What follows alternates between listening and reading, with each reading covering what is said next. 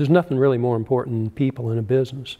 I don't care how good their inventory is or what they do or how well they do their jobs. If they're not friendly, you don't really want to go back there. And that's the thing about the violin shop. I look forward to going there just like, like I would look forward to going and visit an old friend somewhere.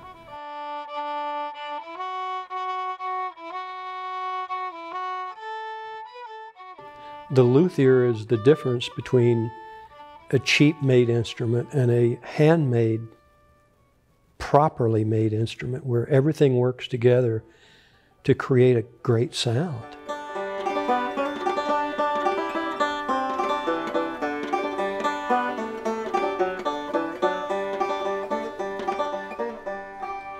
You know, this whole thing started because the banjo is too heavy.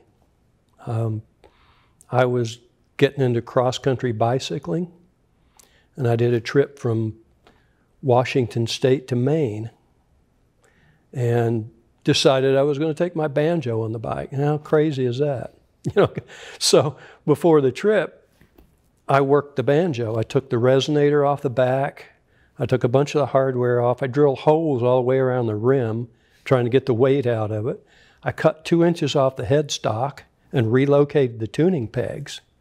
So I turned a little Deering banjo that weighed close to eight pounds into a 4.2 pound banjo in the case. And I put it on the bike and I hauled it across the country.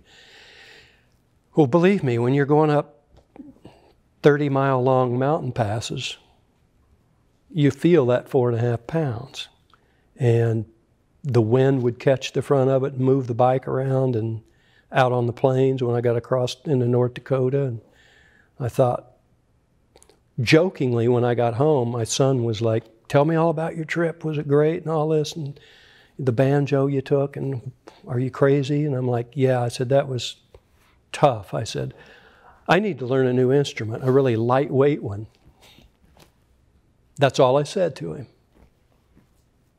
Christmas morning, I'm opening my presents, brand new violin from him. He's the greatest gift giver in our whole family. Always gets the right gift for everybody. So I still have the instrument, and you know what? It still sounds pretty darn good.